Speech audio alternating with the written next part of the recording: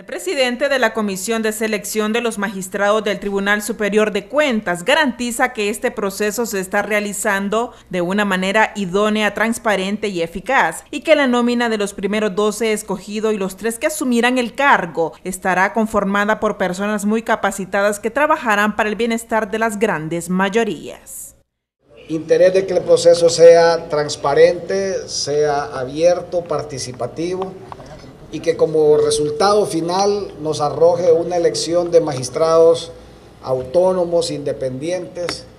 Miembros de la sociedad civil aseguran que el perfil de los elegidos debe ser muy alto, ya que esto ayudará a blindar sus actuaciones.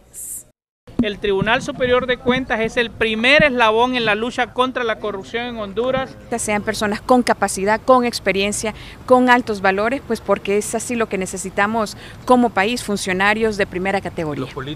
Ante la importancia del tema, miembros de la misión de apoyo contra la corrupción y la impunidad se reunieron con la comisión de selección y manifestaron su apoyo total.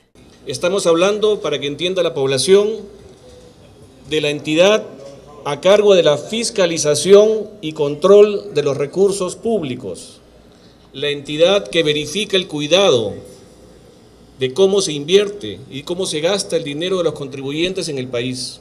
Sobre los señalamientos de los que han sido objeto algunos de los postulantes por parte de la Embajada de los Estados Unidos, Juan Jiménez asegura que será el filtro que aplique el Congreso lo que garantizará que estas personas no formen parte de la nómina final. Para 11 Noticias, Kimberly Espinosa.